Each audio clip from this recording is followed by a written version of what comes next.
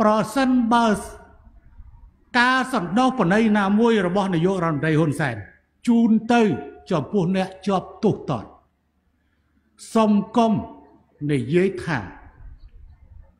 នេះបណ្ដាលមកពីការគៀបសង្កត់របស់បរទេសឲ្យសោះសូមប្រយ័ត្នប្រយែងទៅលើពាក្យសម្ដីលើបញ្ហានេះ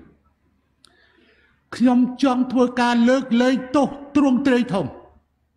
នៅពេលខាងមុខ មិនមែនគ្រាន់តែមនុស្សប្រមាណអ្នកទេក៏ប៉ុន្តែខ្ញុំមានគោលដៅថារដូវបុណ្យភ្ជុំឬរដូវបុណ្យអុំទូកឬបុណ្យឯករាជ្យនៅឆ្នាំនេះអាចនឹងស្នើឲ្យឥឡូវឯអាដាមអង្គវងវឌ្ឍនាជារដ្ឋមន្ត្រីក្រសួងយុទ្ធភ័ណ្ឌនៅទីនេះស្រាប់ឆ្នាំនេះយើងអាចដំណើរការលើកលែងទ្រង់ទ្រាយធំលើកលែងទុកទ្រង់ទ្រាយធំដើម្បីឲ្យពលរដ្ឋរបស់យើងដែលជាប់ពន្ធនាគារនោះ មានឱកាសចេញមកដើម្បីធ្វើការកែប្រែខ្លួនសាជាថ្មីដូច្នេះក្រៅពីអ្នកជាប់ទោសមួយចំនួន ដែលបានលើកលែងទោសកន្លងទៅនឹងបន្តការលើកលែងទោសសុំគុំនិយាយថាបណ្ដាលមក ពីការគៀបសង្កត់របស់អន្តរជាតិខ្ញុំស្អប់ណាស់អាពានអញ្ចឹងសុំបងប្អូនអ្នកដែលនៅក្នុងពន្ធនាគារដែលខ្ញុំក្រងលើកប្រហែលជា2តរ៉ប់2តរ៉ប់អ្នកផ្សេងទៀត ចាំបើសិនជាខ្ញុំត្រូវឲ្យធ្វើអ្នកធ្វើការសុំទោសអ្នកបានធ្វើលិខិតរួចហើយក៏ប៉ុន្តែបើសិនជា អ្នកណាមួយធ្វើអត្ថាធិប្បាយអំពីការគៀបសង្កត់អន្តរជាតិខ្ញុំតម្រូវខ្ញុំទុកសិន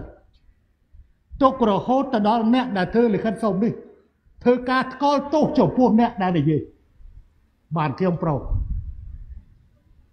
ខ្ញុំអាចមានលក្ខខណ្ឌនឹងទៅសម្រាប់អ្នកដែលធ្វើលិខិតសុំទោស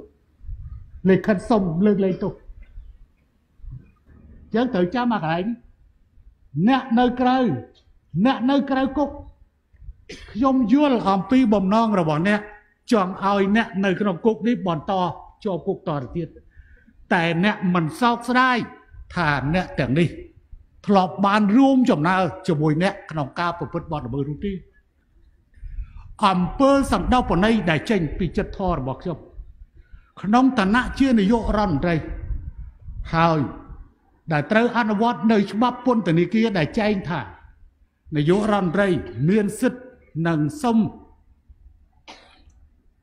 លើកលែងទោសថ្វាយព្រះមហាក្សត្រនៅពេលណាក៏បានច្បាប់ពន្ធនាគារគេអនុញ្ញាតឲ្យនាយករដ្ឋមន្ត្រីធ្វើបែបនេះ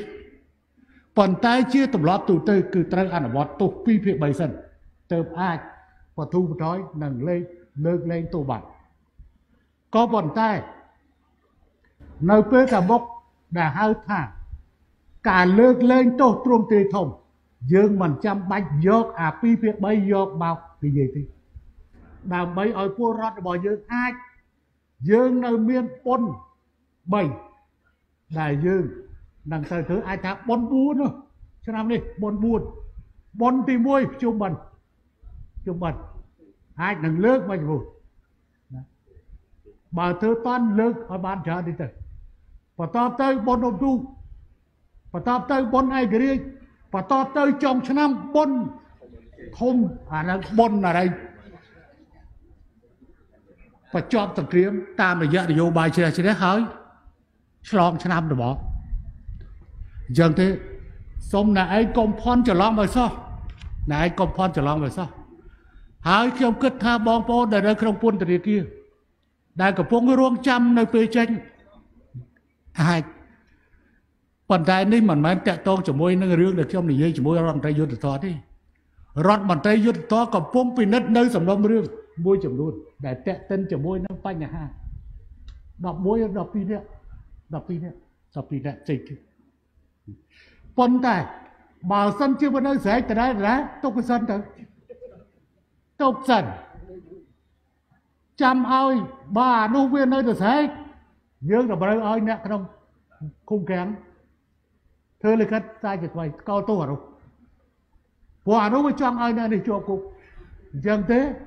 តម្រូវត្រូវនិយាយថានេះខ្ញុំសុំមិនមែនមិនមែនអន្តរជាតិគៀបសកតទេអាហ្នឹង ព្រោះអាហ្នឹងវាថាថាគេនិយាយទៅថាអាហ្នឹងវានៅលើអំណាចរបស់ហ៊ុនសែនអើតែអាហ្នឹងគេឲ្យអំណាចនាយករដ្ឋមន្ត្រីតើវានៅលើចុងបិចរបស់នាយករដ្ឋមន្ត្រីសញ្ញេឬមិននិយាយតើចុះឈួតអីវាវាថាលើកលែងទោសក៏ដោយសារអំណាចហាឥឡូវសួរថារដ្ឋមន្ត្រីនេះមានអំណាចនឹងនេះវាអត់អំណាចនេះគេឲ្យទៅនាយករដ្ឋមន្ត្រីមួយគត់ ហើយអំណាចនេះនៅក្នុងប្រទេសនេះមានតែពីរទេអំណាចមួយអំណាចអ្នកស្នើគឺនាយករដ្ឋមន្ត្រីអំណាចមួយទៀត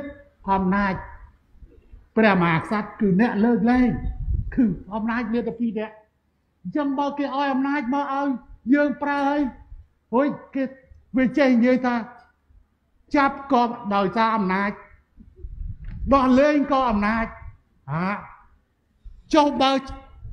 ច្បាប់គេអនុញ្ញាតឥឡូវបកើទានបលិសមកធ្វើអី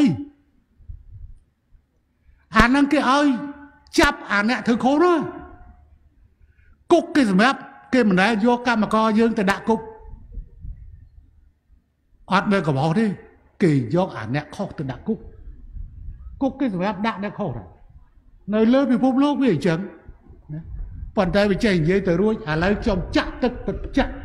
គេហៅថារុញទូកដល់ទឹកពិតជាអំណាចមែនចាប់ក៏ដោយសារអំណាចអំណាចរបស់រដ្ឋតែណែឯងធ្វើខុសច្បាប់គឺច្បាប់នៅវាចាប់ហើយហើយច្បាប់ណាណាគឺច្បាប់គេបកគលទៅឲ្យបរិអញ្ញាច្បាប់គេបកគលទៅឲ្យនគរបាលច្បាប់គេឲ្យបកគលទៅឲ្យអាវុធហត្ថដែលត្រូវអនុវត្តជានគរបាលយុត្តិធម៌ វាអញ្ចឹងហើយអ្នកដែលមានជានគរបាលយុត្តិធម៌ដទៃទៀតដល់ទៅដោះលែងបើសាលក្រមវាចូលស្ថាសាលក្រមដល់ពេលកំណត់ហើយអំណាចច្បាប់វាត្រូវតែដោះលែង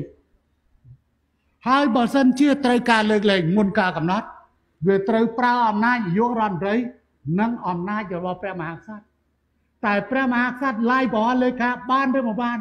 តើមានសំណើរបស់នាយករដ្ឋមន្ត្រីឬអត់ អាហ្នឹងវាមិនមែនចេះតែចេះតែទៅឯណាអញ្ចឹងទេសុំ5ទៅណែឯងកុំឆ្លើយពេកកុំឆ្លើយពេកហើយអ្នកដែលបានចេញពីគុកហើយក៏កុំប្រហើនពេកដែរណាកុំស្មានតែគេមិនហ៊ានចាប់បញ្ចូលគុកវិញអាហ្នឹងគឺនៅច្បាប់ របស់កម្ពុជាឬច្បាប់នៅលើពិភពលោកគេអត់បានហាមឃាត់ថាជាប់គុកម្ដងរួចហើយអត់ត្រូវជាប់គុកលើកទី2ឬលើកទី3ទេអត់មានច្បាប់ណាហាមឃាត់ទេតែប៉ះពាល់ដល់ច្បាប់ច្បាប់ចាប់ទៀតកាត់ទោសទៀតជាប់គុកទៀតវាតែចឹងនិយាយចឹងមិនមែនបានតែគេទៅបិទមាត់អ្នកឯងនិយាយអីនិយាយទៅកុំតែប៉ះពាល់ដល់គេត្រូវដឹងថាសេរីភាពរបស់ឯងអ្នកឯង គឺមានព្រំប្រទល់ជាមួយសេរីភាពរបស់អ្នកដទៃតែប៉ុណ្្នឹងទៅបាទហើយបើអ្នកឯងបំពេញហើយទោះបីអ្នកឯងជាប់គុក100ដងក៏នៅតែត្រូវជាប់គុកបន្តទៀតអានោះវាត្រូវតែជាប់គុកគឺអញ្ចឹងប៉ុន្តែអាគុកហ្នឹងគឺតើបើ100ដងវា100ឆ្នាំបើបើគុកកញ្ចៅវាជាប់គុកកើតមកទៅជាប់គុករត់តែគុកវានឹកគុកបើ បើវាមិនបានទៅចូលគុកអាគុកនោះមកសួរទុកទុកគឺរឿងវាចេះអញ្ចឹងទេក៏សូមបញ្ជាក់មិនមែនបានតែគេថាទៅទៅពមៀនរបស់អ្នកណាទេក៏ប៉ុន្តែសូមកុំភ្លេចកុំភ្លេចហើយឥឡូវនេះខ្ញុំបាទបកស្រាយហើយចេញជាសារនយោបាយមួយហើយហើយអរគុណ ចំពោះក្មួយក្មួយកម្មករកម្មការនេះទាំងអស់តែនៅទីនេះ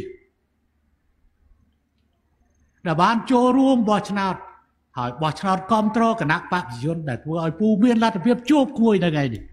ជួបទៅក្មួយនៅថ្ងៃបើសិនមិនបោះឆ្នោតឲ្យគណៈបព្វជិជនទេប្រហែលជាពូអត់មកកន្លែងហ្នឹងទេព្រោះពូបានប្រកាសថាពូមិនដណ្ដើមកិច្ចការអនាគតនយោបាយរដ្ឋមន្ត្រីទេប៉ុន្តែឥឡូវនេះ ពូកំពុងស្ថិតនៅជានាយករដ្ឋមន្ត្រីនៃតំណែង